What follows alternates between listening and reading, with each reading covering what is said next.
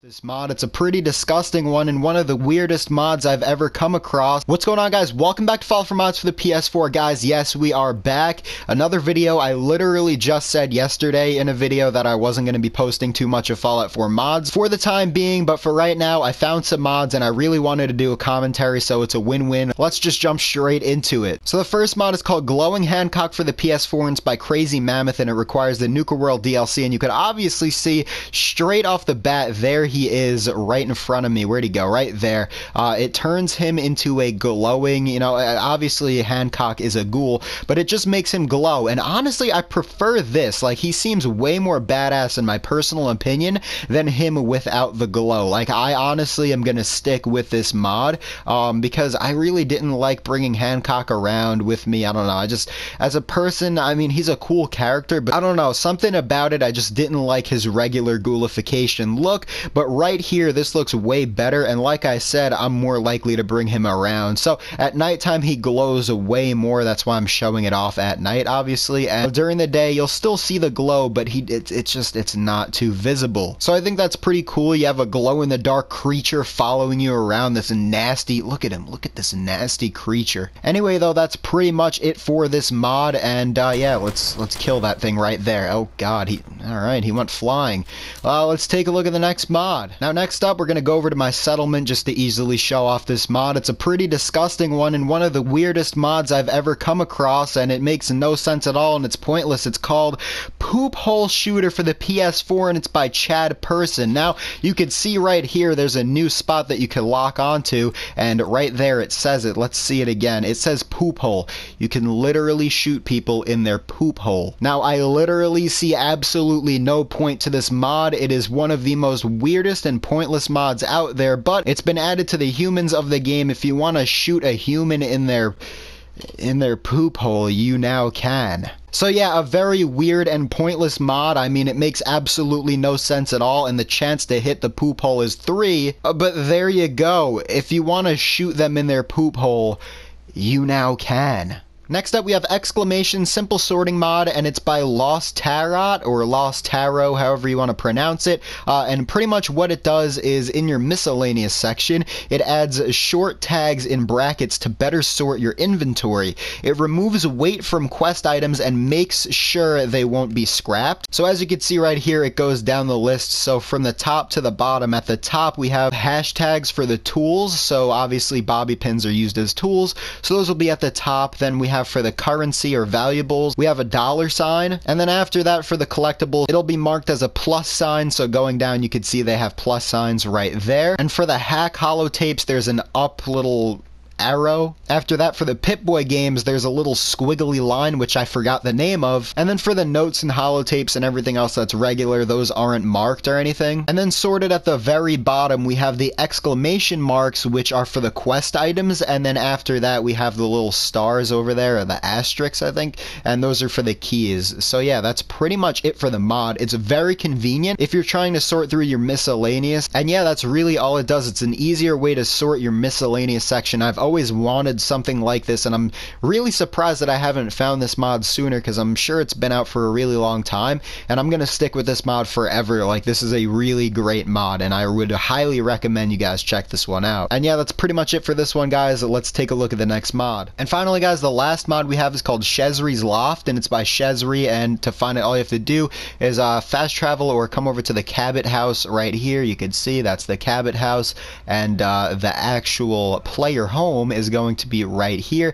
Go through the door and let's check this out. So inside of here, going to the left, in this first room we have some empty trunks and a power armor station right there. You can't access that door, there is nothing there. Let's go up into the main loft itself though. Uh, going through the door you can see this is the place. Now I'll get to the exits in a second. There are two. One leads to a balcony and one the rooftop. But over here we have themed storages. We have a drinks cabinet right there. There's a jukebox box, a magazine rack, and going into the kitchen, there are static objects all throughout this place, um, and that's what I love about Shezrie's player home mods. They always have those static objects, so you can't bump into them and they'll go flying. It'll just stay there, so it'll look nice and neat and organized. Uh, but anyway, we have a spot to put the sweet rolls and just a sink, and this you could take the cooking oil if you want to take that. Uh, we have a cooking stove right there, though, and this, don't spawn stuff in the trash can because it'll respawn, so it'll delete your stuff. So you could literally throw things away, but everything else saves what you could put inside of it. So you could place things, for instance, in the omelet section, and it will stay there forever. Now, there are themed storages in the fridge. You have the cooked meat, the beer, the Salisbury steak, and all that stuff. There's a radio. You can turn that on. Going inside of here, we have a bathroom downstairs. You could take the toilet tank cover and move it to the side. I don't think I've ever seen something like that before, so that's pretty cool. Uh, we have a trash can right there and a sink and a mirror. Nothing else too special to look at inside of there. Let's go inside of here. Now, this is a storage area for the food stuff, so you can see there's a sign right there. Uh, theme storage is for every single thing you see inside of here. If you want to store things in there, you can. And uh, yes, yeah, spots for your produce as well. If you want to store your produce inside of these, you can. And that's pretty much it for this room. Now, going around inside of here, there is a note on the table. We could read this and it tells you some backstory about the place. So the 22nd of November, hey Jack, can't make it over tonight, gotta go head out to Hardware Town and grab some more paint and tools. My apartment is starting to show its age again. Hardware Town should be full of tools and supplies, so it'll be a worthwhile trip. Yes, I know you said there were raiders taking up that part of town, but it's not like I have a choice. Diamond City won't let any of us ghouls in anymore. Gotta get me one of those sentry bots like yours. That thing killed another bunch of raiders last night that were trying to get in here, hoping to make it back in two days. If not, then assume the worst. But I am a tough old ghoul, survived the bombs, so a few raiders won't stop me. Your old neighbor and friend, Martin.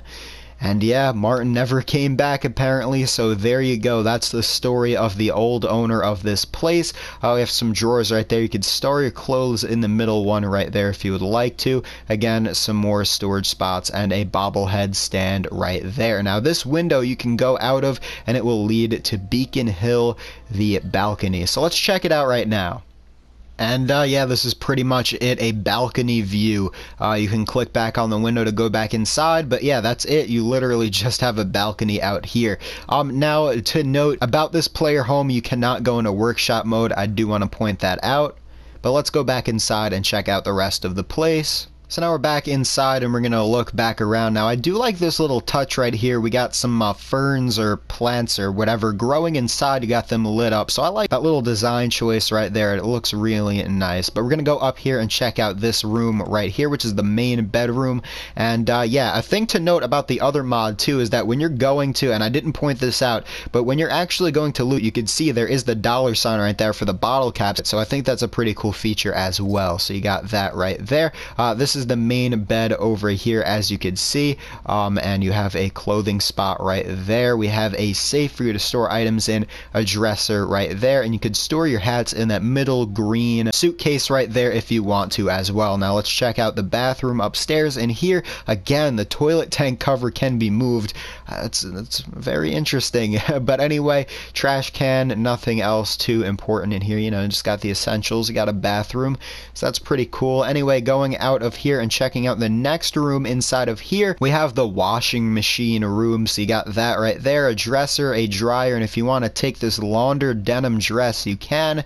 And that's pretty much it for this room. Now going upstairs into the final room, we have the workshop area pretty much. So this is where you're going to be making and crafting your armor and weapons. And uh, yeah, we have again themed storages for your weapons right here. All of your weapons can be stored in those themed spots as well as your ammo for for over here, we have themed ammo storages as well for the mini nukes and everything like that. And the mini nukes right there are actually very, very mini right there. But anyway, over here we have themed storages for your drugs, your chems right there. That's uh, that's that's that right there, pretty much. And we have a chemistry station over here, a trunk which is empty. You could put anything you want inside of that. Uh, and then over here we have the uh, the sick bay for your meds right here. Store them in there if you would like to. Over here we have storage for your armor if you want to put them inside of those as well as just another trunk right there. That's pretty much it for this place. But going out, we have, where is it? Right here, another exit to the roof. So let's check this out. And finally, on the roof, you can see this is where we are. There's a tato planter right there, a mute fruit planter, and this is the roof. You could hang out and relax on here and uh, yeah just taking the sights of the overpass right there. And uh, yeah i think that's pretty much it guys. Uh, you got a loft of a home. And uh, yeah i just wanted to put out a quick video. Like i said guys i wanted to do a commentary really bad today. I was in the mood. And uh, yeah once again guys thank you so very much for watching. Go in the description and please follow me on twitter. It would mean a lot to me. I mean i always give you guys updates on there on what's going on with the channel. And i might do more follow-up videos soon. I don't know. Like i said though in that last update video video. I'm probably not going to be posting as much Fallout 4 mod videos, at least within the next few weeks, because I've been working on a bunch of different projects. But for right now, I had the time and I wanted to do it because I found a bunch of mods. I was browsing the categories and I was like, you know what? Let's give them a mod video. And here you go, guys. That's pretty much it. So, uh, once again, guys, thank you guys so much for watching. Check out the new series that I'm doing with my friend. It'll be on my Twitter. I'll put it in the description of this if you guys want to check it out. It would mean a lot to me. It's a fun, brand new Battle Royale style series that we're doing on a game that isn't a battle royale game. So it's pretty cool take on certain things. I would really recommend checking it out, guys. Anyway, though, I'm going to get out of here. Thank you guys so much for watching. I'll see you in the next one. Peace out.